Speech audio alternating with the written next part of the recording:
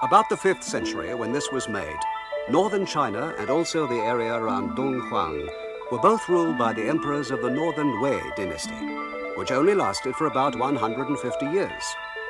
This can be regarded as a typical relic of the Northern Wei, who were of a nomadic race, but who adopted the customs and manners of the more advanced Chinese. They also adopted Buddhism, but were eventually absorbed into the mass of Chinese who were in the majority. This Buddha of the future shared the fate of the people who created it. And this particular style is not found again in China, nor did it travel on eastwards to Japan.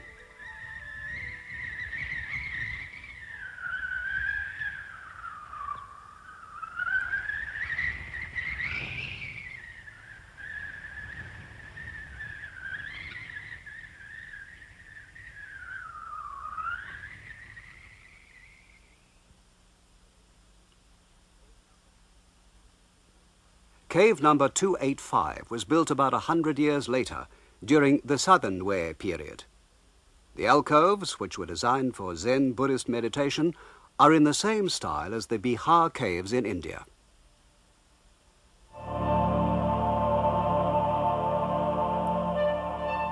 But if you look at the ceiling, you'll find it's covered with pictures of mythical Chinese heroes and animals. At the four corners lie guardian beasts glaring out at the evil world.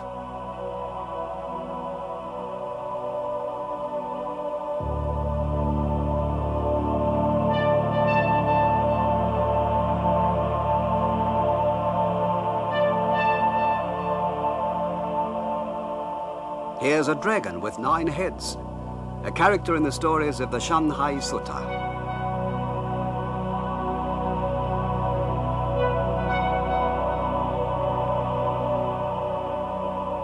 Here's a legendary Chinese emperor, Fu Xi, and his empress Nuwa. The Indian world of Buddhism is surrounded with characters from Chinese stories.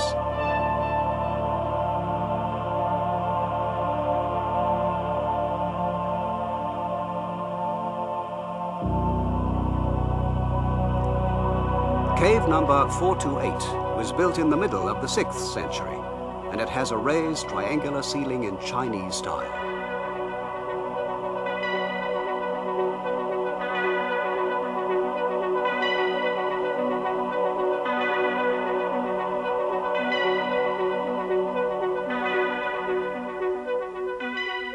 But the pillar in the middle of the cave is like those in the Tao Miao cave in India. This mixture of Indian and Chinese elements is typical of the early Dunhuang style.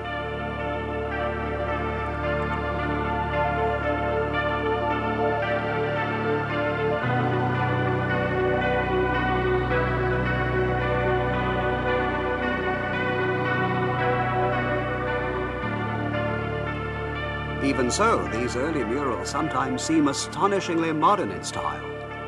When they were first seen, many people thought they were like paintings by the Fauvists, ultra-modern, in spite of the fact that they're 1,300 years old.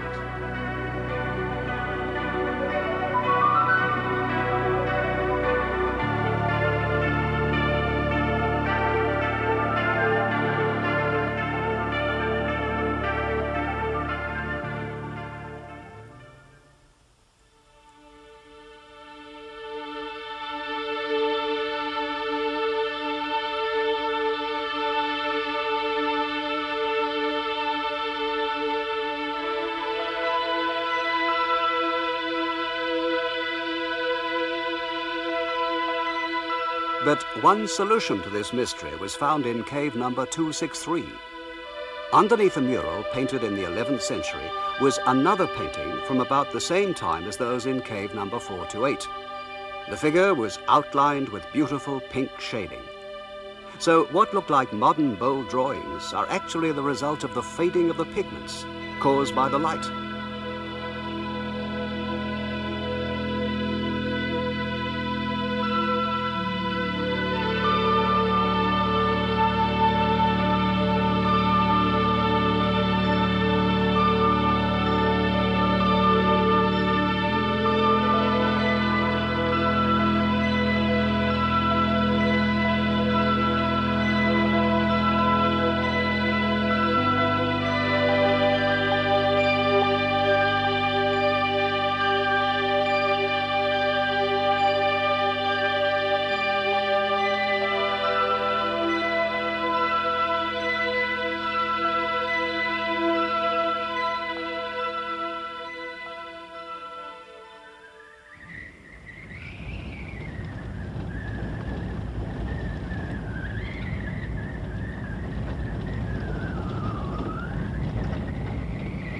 The road continues through the Gobi Desert to Yumenguan, about 60 miles or 100 kilometers northeast of Dunhuang.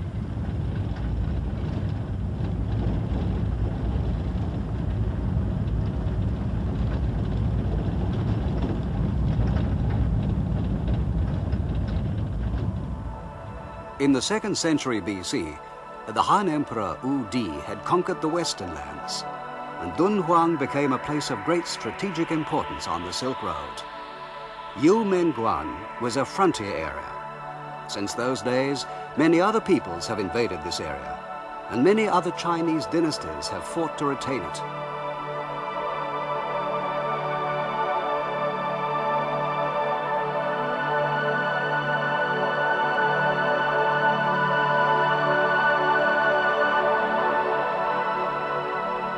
Famous Chinese writer wrote a poem in which he said that when people had traveled 10,000 leagues westwards from Chang'an and finally reached Yumenguan, their hearts were torn with grief, for it seemed they'd reached the ends of the earth.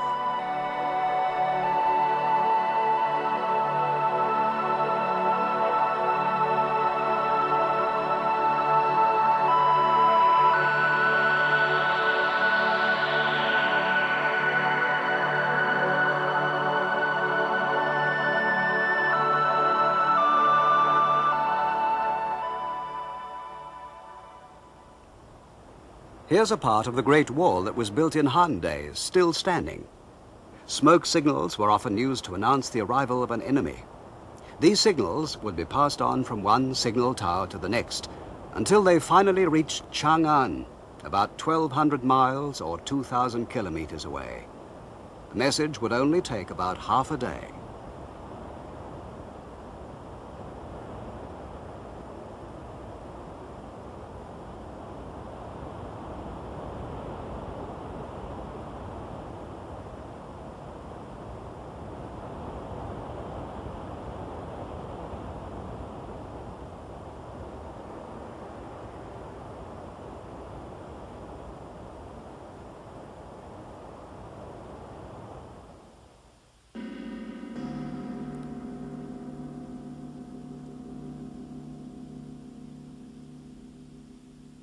In the later part of the 6th century, China was reunified under the Sui dynasty. The Sui dynasty was a very short one and only lasted just over 30 years. But in that time, Buddhism spread far, and more than a hundred new caves were built at Dunhuang. The Sui cave builders seem to have been very fond of the triple image of the historical Buddha the power and prestige of a dynasty that could reunite China and make converts to a new foreign religion is obvious in the lines of these statues.